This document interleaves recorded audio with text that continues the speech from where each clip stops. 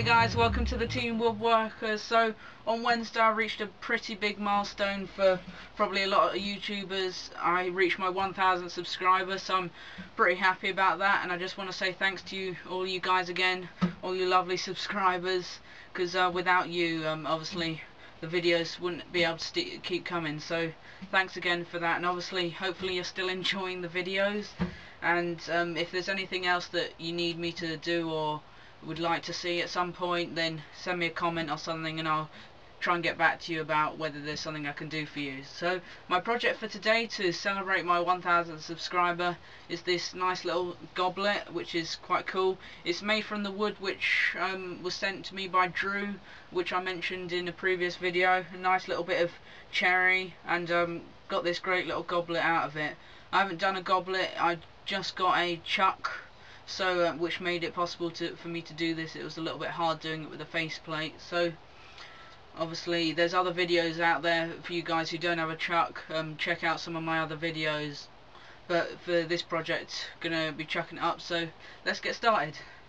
So I've started by mounting a block of cherry between centres and I'm just using a roughing gouge just to get it down to a cylinder at the moment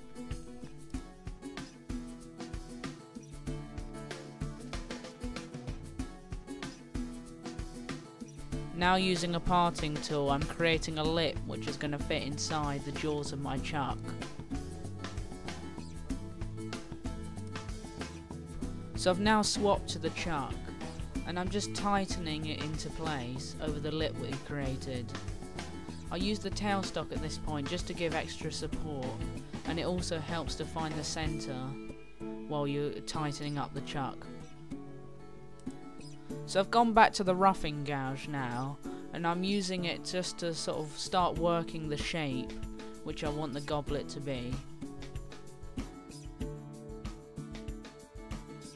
I'm not going too far at this point, I'm really just trying to work out the size of the cup, so I can begin to hollow it out.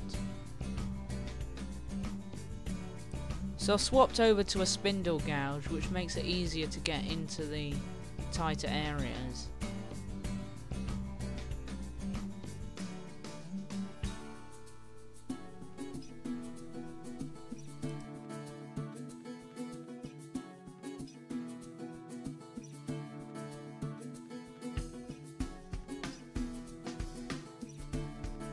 So now I've got an idea of the dimensions, I can begin to do some hollowing out. I'm using a round nose scraper for most of this because I just find it safer on smaller items. At this point don't try and cut too quickly because there's a lot of stress on the piece of work because you're cutting into end grain. This operation puts a lot of stress on the work, so this is why I didn't go too thin on the centre part of the goblet at this point, and I'm going to work on that later, so that I've got a good solid piece of stock to do the hollowing with. Once I've reached a point where I think I've gone deep enough, I can switch back to doing the shaping.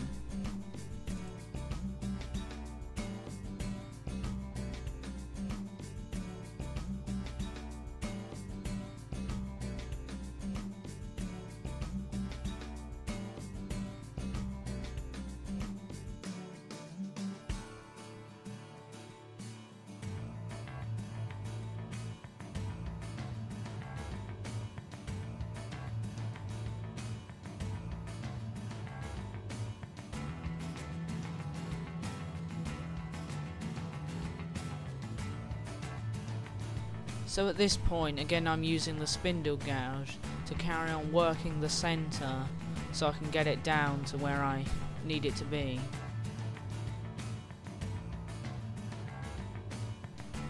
So I'm now using a skew to create two beads, one at the top and one at the bottom of the centre part of the goblet.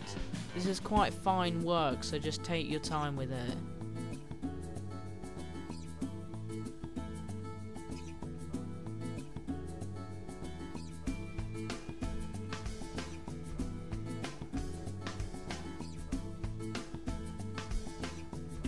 I've also done some shaping to the base so that it curves into the centre part. Details like this make it look far nicer.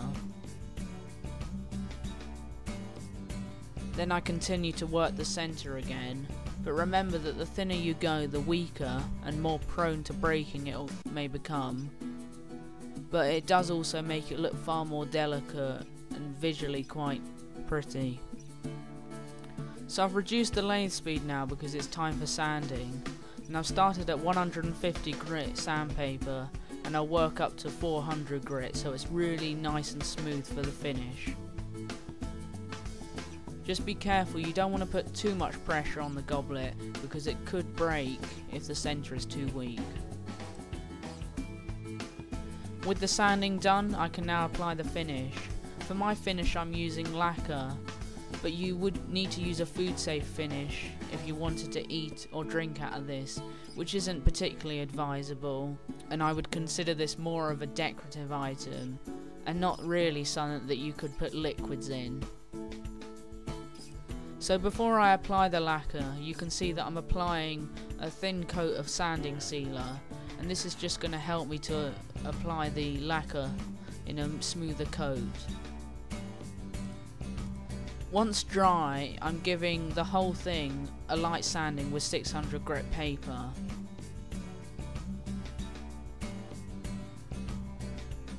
Once that's done, I can then apply the lacquer. In total, I applied about 4 or 5 coats, sanding between each with 600 grit paper again.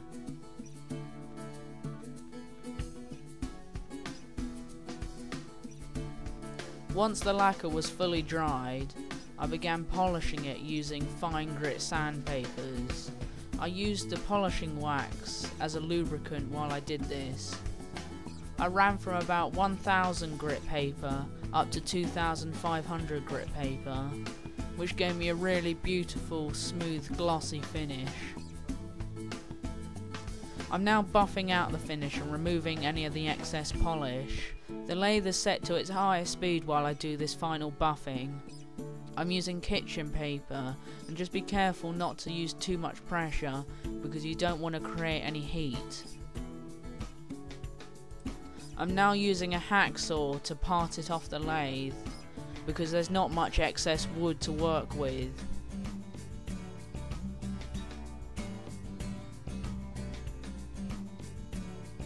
I then move on to use the palm sander to flatten and smooth out the base. I could have reverse mounted the goblet onto the lathe and turned the bottom, but I didn't think it'd be strong enough. All that was left was to sign and date it on the bottom, and finally apply some lacquer to the base. Okay, so here's the finished goblet. It took a little bit of time to get here, but it looks really great. And um, I mean, you could make some changes to this cup or um, some of the beadings or something. I mean this cup could be perhaps more rounded rather than this sort of tapered look but I quite like this tapered look and that's why I went for it. So um, get a little bit imaginative with it I guess and um, have some fun with it. So thanks everyone for watching. Again thank you all you lovely subscribers out there and I'll see you again soon on the Teen Woodworker. I'm Alex Harris. Bye.